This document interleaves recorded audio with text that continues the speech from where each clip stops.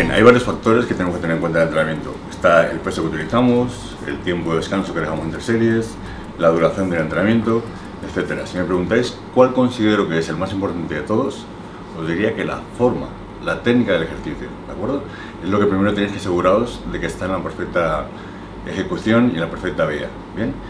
Cuando vamos al gimnasio tenemos que tener en cuenta que nuestro cuerpo, como mecanismo de supervivencia que es, lo que va a intentar es solventar el ejercicio de la manera más fácil posible. Es decir, cuanto más colegas tenga desarrollando el, ejercicio, más fácil le va a ser para él. En eso tenemos que hacer un ejercicio interno de visualizar el músculo que estamos trabajando y hacer un trabajo de conexión mente-músculo importante. ¿de acuerdo?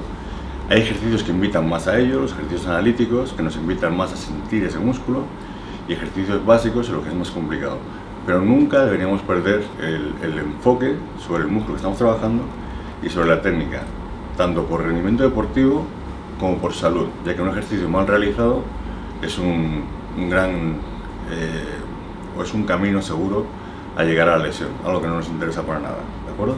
Así que lo primero que tienes que trabajar y tener en cuenta es la técnica del ejercicio, que el ejercicio está perfectamente realizado. Si miramos el siguiente factor a tener en cuenta, evidentemente sería la carga. ¿vale? Dentro de que ese ejercicio sea perfectamente realizado, cuanto más carga le hagamos soportar, mayor eh, repercusión va a tener sobre nuestro cuerpo y más beneficios vamos a obtener sobre él. ¿vale? Entonces, realizar el ejercicio de la manera lo más perfecta posible, con la máxima carga que podáis. ¿de acuerdo? Luego tener en cuenta que el tiempo de descanso es muy importante. Si pones, por ejemplo, haces una serie al máximo en el de banca y dejáis descansar únicamente 30 segundos, la siguiente serie que va a pasar va a ser una mierda de serie. ¿Por qué? Porque vuestro cuerpo no ha repuesto el glucógeno, el ATP necesario para solventar esa, esa serie y la, la, serie no va a ser efectiva. ¿de acuerdo? Entonces, la ciencia nos dice que deberíamos dejar un ejercicio multiarticular tres minutos de descanso para tener una, una recuperación completa del ATP y la fosfocreatina y poder rendir al máximo en, en la serie siguiente. Son ejercicios multiarticulares analíticos y también depende mucho el tamaño de la masa muscular que estamos trabajando. No va a hacer falta la misma cantidad de tiempo de descanso para un cuádriceps o un pectoral que para un bíceps, que es un grupo muscular mucho más pequeño. Entonces, un poco la pauta que os digo para que tengáis eh, en cuenta, dejar 3 minutos de ejercicios multiarticulares pesados, como pues sentadillas, una prensa, un peso muerto, 2 minutos para grupos musculares medios, como pueden ser pues, el trabajo de deltoides, femorales, y el grupo musculares pequeño puede dejar hasta un minuto. Sería algo como una pauta a seguir, ¿de acuerdo? En la duración del entrenamiento, tener en cuenta que nuestro cuerpo tiene una capacidad limitada de producción tanto a nivel energético como a nivel hormonal, un factor muy importante tener en cuenta. ¿vale? Entonces la idea, lo ideal sería que durante vuestro entrenamiento estemos constantemente en un estado en el que podamos eh, rendir al máximo. Esto, si lo entablamos en, lo encuadramos en tiempo, en tiempo físico de entrenamiento, nos va a decir que los entrenamientos no deberían superar la hora de entrenamiento. ¿vale? Hora, hora y cuarto sería lo máximo.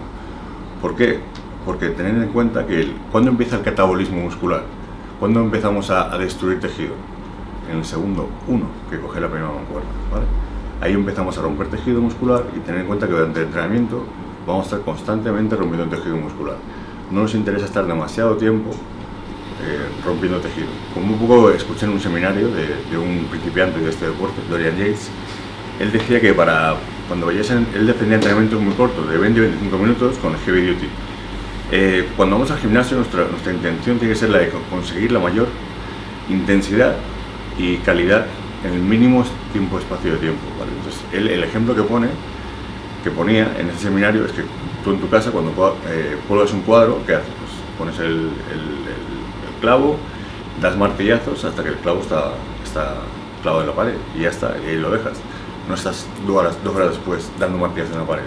Pues esto lo mismo, llegar al gimnasio, estimular el músculo, salir de él y dejar el músculo que se recupere y crezca. entonces, esos son los factores importantes a tener en cuenta, acordar la técnica, la carga, que sea lo más pesado posible, dentro de que no nos eh, sobrepase la, el primer factor, que sería la, la técnica, el tiempo de descanso entre series y la duración del entrenamiento.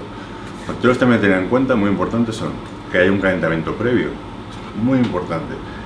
Nunca vais a ver que un piloto de carreras pone el, coche según llega a la pista a 300, hace una vuelta de calentamiento y preparan la máquina, que es vuestra máquina más a vuestro cuerpo, para el entrenamiento. Entonces, acordaos siempre de hacer un poquito de ejercicio cardiovascular, algunas series previas de calentamiento, luego darlo todo en el entrenamiento y al final una recomendación que os hago es que hagáis entrenamientos no muy eh, excesivos, ¿vale? por excesivo me refiero llegando a grados muy altos de, estiramiento, sino estiramientos en los que favorezcamos el, abrir un poco las fascias musculares y la recuperación de la musculatura. Así que con esas pautas, chicos, creo que vuestro entrenamiento estará en la vía adecuada.